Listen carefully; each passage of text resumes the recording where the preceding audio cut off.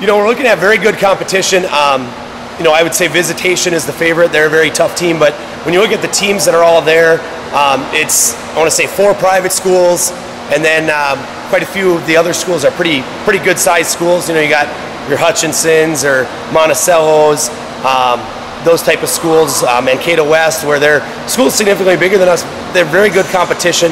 Um, you look at you know where they're at. There a lot of the programs there are programs that have been um, very strong programs for a long time, consistently strong programs. Um, and, and, we have too. I mean, we've been there. This is our sixth time down at the state true team meet in a row, and so um, we've competed with these teams before and know that we can we can hang there with them. And so, um, what we're going to have to do in order to you know be successful at this meet is really see good consistency from everybody.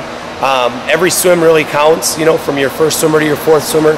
And so we're going to be looking for just consistency. We had a very consistent section meet, uh, section true team meet, and so we're looking at doing the same thing down at the state meet. Just everybody chipping in, doing their part. Uh, relays are really important. Um, our A and B relays, but also the C and D relays take extra importance at the true team meet because uh, that's one area where I think we can uh, finish ahead of a lot of schools is with having faster C and D relays than them and, and racking up some points that way. Um, and then some other big things, you know, we're just looking at. Uh, it's a good experience to swim down at the U pool for everybody. Um, it's really the only way that the whole team gets to go down to the U of M pool and swim at a at a state meet.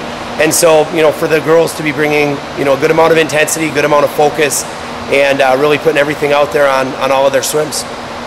Can you highlight some of the girls that uh, the seasons that they've had to get to this point? They've obviously done very well. Who are some of those girls? Yes, um, we'll start with uh, Sydney Rasmussen. She's a senior for us. Uh, she swims the IM and the breaststroke, and uh, has been only really about a second and a half off of her school record in the IM this year, and uh, also has been uh, has gone understate cuts in the breaststroke as well. And so, um, looking at where she's at, you know, she's had a great season for us. Um, and then she's joined in those two events by Joanne Kolbach as well. Um, Joanne's an exchange student from Denmark, and she's been, uh, she was actually the true team section champ in both the IM and the breaststroke, uh, and has gone under cuts in the breaststroke and been uh, very fast in the IM as well. And so those two really give us a nice one-two punch in those events. Uh, on Saturday, they both have good chance to be in the top eight in both of those events, which is quite impressive. And then uh, Gabby Sawyer's been a really strong flyer and backstroker for us. Um, she's she's been very fast in the butterfly all year, under uh, state cuts in that several times, and uh, has set some records, pool records, and those sorts of things in the in the butterfly. So we're looking for a good butterfly finish from her. But she's also come on strong in the backstroke, and uh, really has had some good drops in that backstroke. She's going lifetime best in that and uh, has a good chance to uh, make it a state in that event as well. Um, and she's joined by Michaela Van Walde, who's actually an eighth grader, who's uh, had some really good times in the backstroke also. Um, so we have a good, really, backstroke's one of our strongest events, uh, one through four, and so looking forward to that on Saturday. And then uh, Rachel Calzer's really been a strong swimmer for us this year as well. Um, she set our pool record in the 200 freestyle. Uh, she's also been swimming. She could swim both the 500 free and the 100 free. We're kind of focusing more on the 100 free with her, but um, she's been a really strong freestyler for us.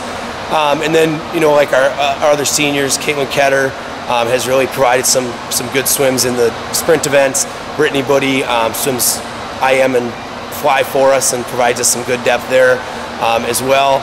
And then uh, in diving, We've been doing well also. Jewel Buddy's really stepped up as um, our top diver as well, and we have good depth in diving too. So really looking across the board, we're, we're pretty strong um, in every event, and so we're looking forward to having a really, really strong true team meet.